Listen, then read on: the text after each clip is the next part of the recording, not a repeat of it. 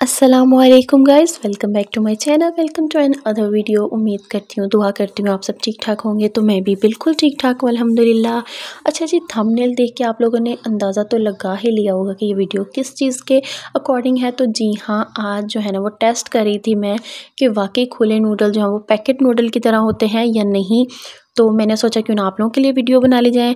आप लोगों ने बहुत सारे लोगों से सुना होगा मेरी तरह के जो है वो खुले नूडल बिल्कुल पैकेट नूडल की तरह होते हैं taste wise colour wise and each and everything तो मैंने सोचा क्यों ना जो है ना, वो टेस्ट कर लिया जाए टेस्ट कर लिया जाए।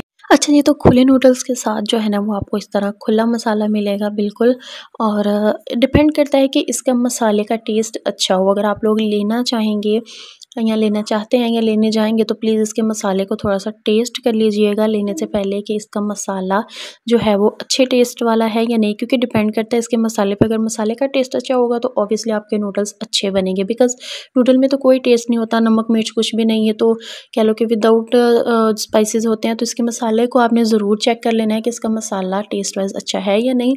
मेरे हस्बैंड जो लेके आए थे, वो काफ़ी, ये आप देख सकते हैं कि मसाला बिल्कुल जो है वो बहुत मज़े का था, इसकी खुशबू बहुत प्यारी थी और टेस्ट भी काफ़ी ज़्यादा अच्छा था। मैंने पहले टेस्ट कर लिया था इसके मसाले को भी। तो आप देख सकते हैं कि आप कोई भी तरह के नूडल बना सकते हैं। मैं मतलब आलू और मटर डाल के बना रही थी। आप इससे ज़्यादा वेजिटेबल भी डाल सकते हैं। कुछ भी आप जैसे भी चाहें बना सकते हैं।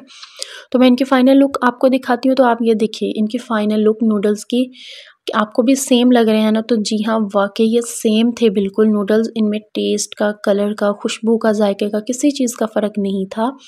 और आप देख सकते हैं कि बहुत बहुत बहुत ही ज़्यादा मज़े के बने थे। हम सबने जब खाए तो हम लोगों ने कहा, वाकई के, कि मतलब सस्ते भी होते हैं, क्योंकि महँगाई इतनी ज़्यादा है, हर कोई जब वो सस्ते की तरफ़ दौड़ता है कि सस्ती चीज़ और अच्छी हो तो वाकई ये सस्ते भी मिलते हैं और अच्छे भी होते हैं। हर जगह पर डिफरेंट रेट हो सकते हैं, लेकिन फिर भी पैकेट नूडल से सस्ते होते हैं। आप इसको ज़रूर ट्राई करिएगा। चैनल, अपने चैनल को सब्सक्राइब कर लिए वीडियो को लाइक शेयर करना मत भूलिए